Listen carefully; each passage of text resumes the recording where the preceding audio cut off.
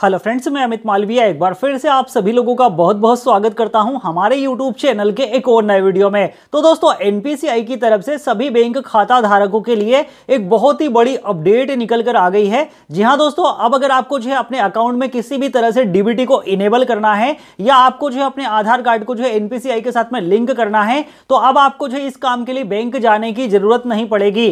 क्योंकि एनपीसीआई की तरफ़ से जो है एक नई सर्विस को स्टार्ट किया गया है, जिसके माध्यम से आप जो है अपनी बैंक में आधार कार्ड को सीड कर सकते हैं, आप जो है अपने बैंक अकाउंट में डीबीटी को इनेबल कर सकते हैं, आप जो है अपने आधार कार्ड को एनपीसीआई के साथ में लिंक कर सकते हैं। दोस्तों, इससे बेनिफिट ये होता है कि गवर्नमेंट के द्वारा अगर किसी भी तरह की स्कीम का अगर आपको पैसा लेना है अगर आपको जो है गवर्नमेंट से किसी भी तरह की सब्सिडी का पैसा लेना है, या मान लीजिए कि आपको जो है गवर्नमेंट से किसी भी तरह की स्कॉलरशिप को लेना है तो वो सारा का सारा फंड आपको जो है गवर्नमेंट की तरफ़ से तभी दिया जाता है जब आपके बैंक अकाउंट में डीबीटी इनेबल होता है।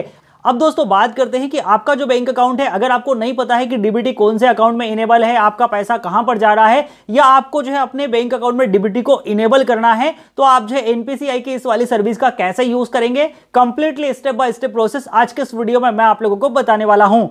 तो वीडियो आप सभी के लिए काफ़ी ज़्यादा इन्फॉर्मेटिव होने वाला है तो वीडियो को लाइक अभी से कर लीजिए और चैनल पे अगर आप नए हैं तो चैनल को सब्सक्राइब करके बेल आइकन को ज़रूर से प्रेस कर लीजिए, क्योंकि हमारे चैनल पे आपको इसी तरह का डिजिटल इंडिया से रिलेटेड कंटेंट मिलता रहता है। तो चलिए फिर वीडियो को शुरू करते हैं। तो दोस्तों, उसके लिए सबसे पहले आपको जो है अपने मोबाइल के या लैपटॉप के किसी भी एक ब्राउज़र में इस वाली वेबसाइट को ओपन कर लेना है, npci.org.in इस वाली वेबसाइट का डायरेक्ट लिंक मैंने आप लोगों को नीचे वीडियो के डिस्क्रिप्शन में भी प्रोवाइड कर दिया है।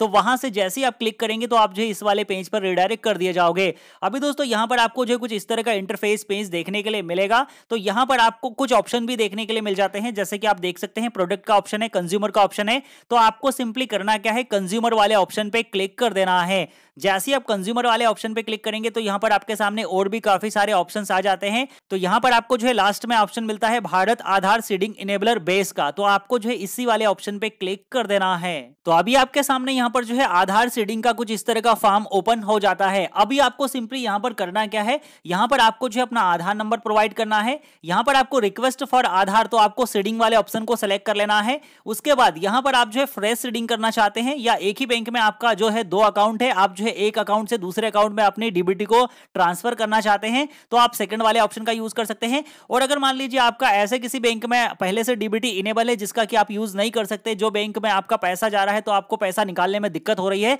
तो उस कंडीशन में यहाँ पर आप जो है अपने डीबीटी को उस बैंक से दूसरे बैंक में मूव भी कर सकते हैं। उसके लिए आप जो है तीसरे वाले ऑप्शन का यूज़ करेंगे। तो हम यहाँ पर फ्रेश डीबीटी इनेबल करना चाहते हैं मतलब आपका जो बैंक अकाउंट है, उसमें हम फ्रेश डीबीटी को इनेबल करना चाहते हैं तो हमने फ्रेश वाले ऑप्शन को सिलेक्ट कर लिया है। यहाँ पर आपको बैंक सिलेक्शन करने का ऑप्शन मिल जाता है। तो यहाँ पर अभी जो है एनपीसीआई की तरफ़ से 25 बैंक एड कर दी गई है, जिसमें कि यहाँ पर आपको Bank of India Bank of Baroda भी देखने के लिए मिल जाती है।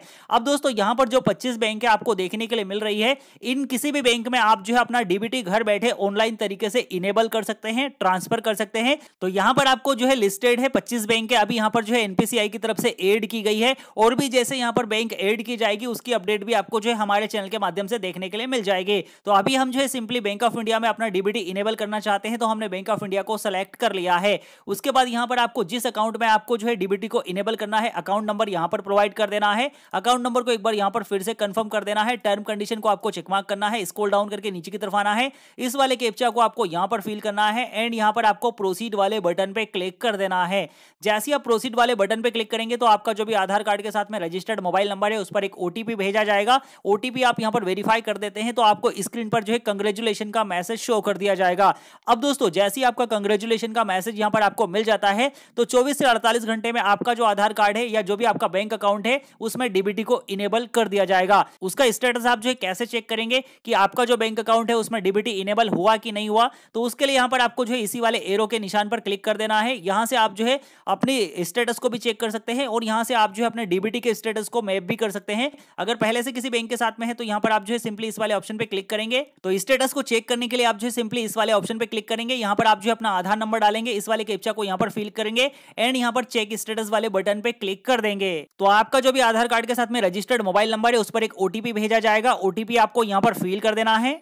एंड सबमिट वाले बटन पे क्लिक कर देना है। तो जैसे आप सबमिट वाले बटन पे क्लिक कर देते हैं तो यहाँ पर आप देख सकते हैं, आपका आधार नंबर आपको यहाँ पर बता दिया जाएगा, आपका मैपिंग स्टेटस आपको यहाँ पर बता दिया जाएगा, आपका डीबीटी इनेबल है, कुछ इस तरह से, ठीक है ना? कौन से बैंक के साथ में इनेबल है तो यहाँ पर लास्ट में आपको बैंक का नाम भी देखने के लिए मिल जाएगा। इस वाले बैंक के साथ में आपका जो डीबीटी है, वो इनेबल है। तो इस तरह से आप जो है अपना स्टेटस भी चेक कर सकते हैं, और जो रिक्वेस्ट आपने डाला है, अगर आपको उसका स्टेटस चेक करना है तो यहाँ पर आपको चेक योर सर्विस का ऑप्शन मिलता है, आप यहाँ पर क्लिक करेंगे। यहाँ पर आप जो है सर्विस को सिलेक्ट करेंगे आधार सेटिंग का। यहाँ पर जो रेफरेंस नंबर आपको प्रोवाइड किया गया है रेफरेंस नंबर डालेंगे। इस वाले कैप्चा को यहाँ पर फिल करेंगे और चेक स्टेटस वाले बटन पे क्लिक करके आप जो है अपनी सर्विस का स्टेटस भी यहाँ से चेक कर सकते हैं। जो एप्लीकेशन आपने जो है आधार डीबीटी के लिए किया था, उसका आप यहाँ पर स्टेटस देख सकते हैं। तो दोस्तों, इस तरह से आप जो है एनपीसीआई की इस नई वाली फैसिलिटीज़ का यूज़ करके 25 बैंकों में ऑनलाइन तरीके से घर बैठे अपना डीबीटी इनेबल कर सकते हैं। अपना आधार कार्ड जो है एनपीसीआई के साथ में लिंक कर सकते हैं। आई होप कि आज की वीडियो आप सभी के लिए काफ़ी ज़्यादा इंफॉर्मेटिव रही होगी। तो अगर आपको वीडियो पसंद आई तो वीडियो को लाइक कर लीजिए। चैनल पे अगर आप नए हो तो चैनल को सब्सक्राइब ज़रूर से कर लीजिए। मैं मिलता हूँ आपसे नेक्स्ट वीडियो में किसी नई इन्फॉर्मेशन के साथ। तब तक के लिए आप अपना ख्याल रखिए। जय हिंद, जय भारत।